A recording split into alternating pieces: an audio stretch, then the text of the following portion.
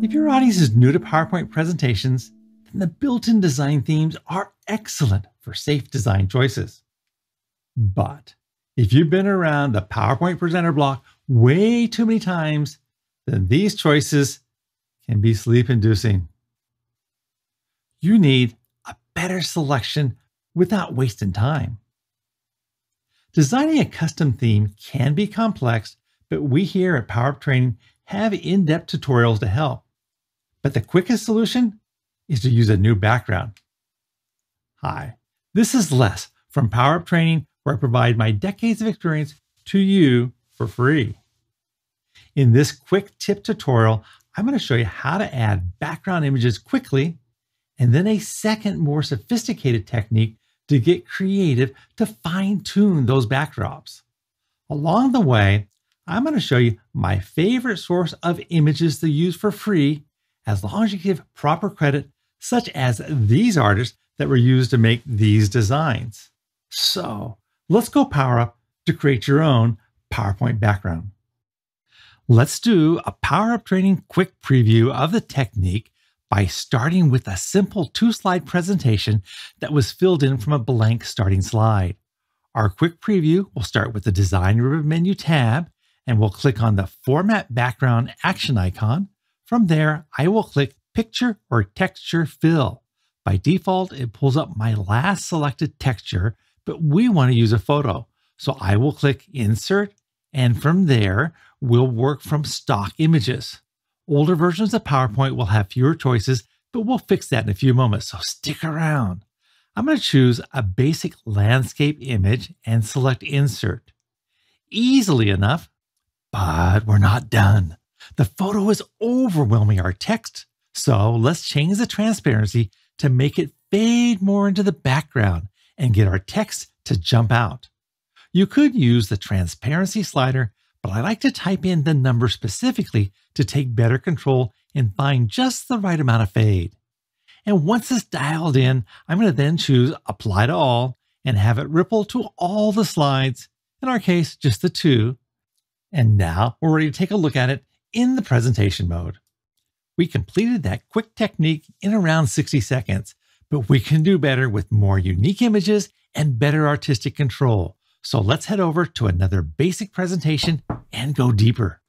Before we even begin the mechanics of adding our unique image background, we need to think in advance of our presentation's goal and how to reinforce the message with the appropriate background. Do we have an urgent message that needs to set a hotter set of photo colors to bring urgencies? Or are we looking to soothe our message with a cooler tone or do we want to match the company's logo colors? Furthermore, do we have a specific theme image of an object or are we looking for some more artistic background that is subtle? Get your vision before you get distracted shopping for an image. And where best to go shopping? A shop with free high quality images. My favorite website is unsplash.com with a collection of open licenses of an amazing collection of photos that can be searched and used for free. The only request is to give attribution of where the material came from to support the artist.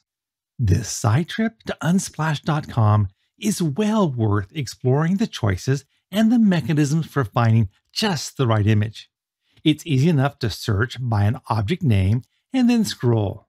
But you can also start to filter your results, such as for PowerPoint, we need to see landscape orientations photos to best fit the screen.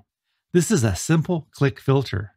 And when we find something we like, it's just a download click with a pop up window for us to grab the credits to give the artist full due for their work. Copy it and put it on your slide at some point in the future. There seems to be an unending list of great creative images found in this collection of photography.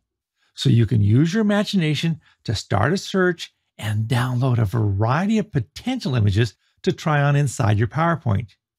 You can go from concrete objects such as a train or more general ideas such as the sky and see how the sky choices we actually have the landscape filter still in place, but we can go even further by putting an additional filter, such as by coolness of color to warm up or to cool down our message. Or we can choose a mood or action and move to something as searching on motion. Watch as I collect a few different photos to download to my download folder, but careful to capture the credits for each image and keeping them in my notepad for future use. Once I pick my final image, I'll give them credit. Now that we have a set of images that should be guaranteed fresh for use in PowerPoint, let's use two techniques to put them to work. The first approach is easy and fast, but with a limited set of artistic controls. We saw this in our initial project, but let's look a little more closely.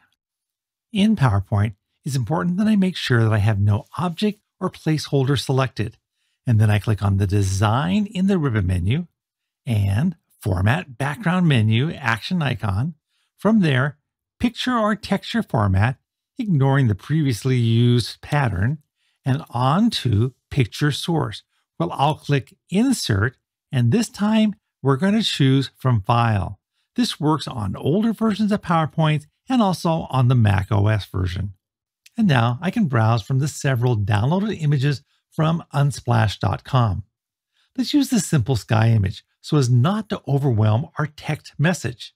Not bad, but the words still get a bit lost. So I'm going to increase the transparency of the image to lighten it up. Note that I tend to type my numbers in to take better control, and after trying several different levels, 50% seems just about right for this image. Now, to go beyond just this one slide, I click Apply to All, and the whole slide deck has the same backdrop image. Once again, after we have selected our photo, it takes less than a minute to apply it to the whole presentation, giving us that unique customized look. But here is the PowerUp Training specialized approach. I will take you deeper inside to show you some secret techniques. First, let's reset the background. You can't delete it, but you can use the Format Background, select Solid Fill to White to roll back the changes. Our creative choice technique will use the concept of Slide Master. To reach that mode, you need to click on the View on the ribbon menu and then Slide Master. This mode controls all the slides, and you can learn more about watching our Slide Master tutorial listed above. But basically, we need to scroll to the top parent slide, and any changes here will ripple through the whole presentation. The previous format background technique did not let us touch or alter the image. So this time we're going to go to the insert menu and choose insert picture. And we'll once again go to this device to look in our file system where our downloaded images were put earlier in this session. This time, I'm going to choose a more distinctive image that could give us trouble in readability of our slide text, even by using the transparency mode. But we've got a few more tricks up our sleeve. Here's a common issue, even with landscape images. They may not fit our 16 by 9 dimensions of a typical PowerPoint slide. See the empty white spaces on both the left and the right side?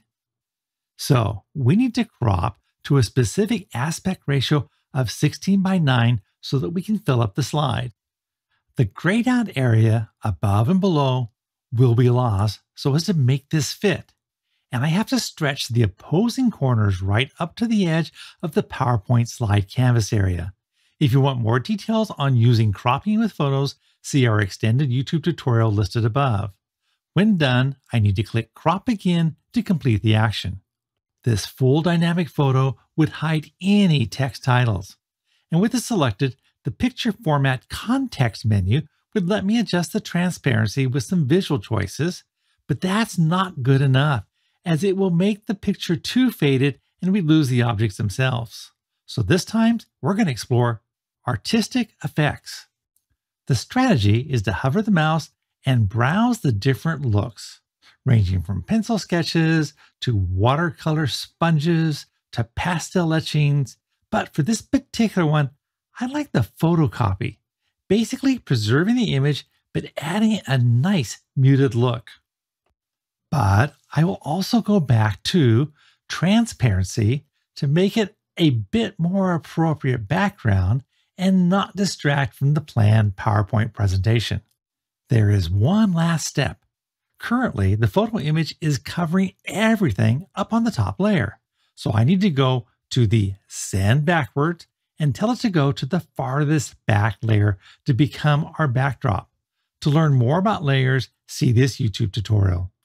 Now, let's exit out of the Slide Master mode by clicking Slide Master menu and close Master View.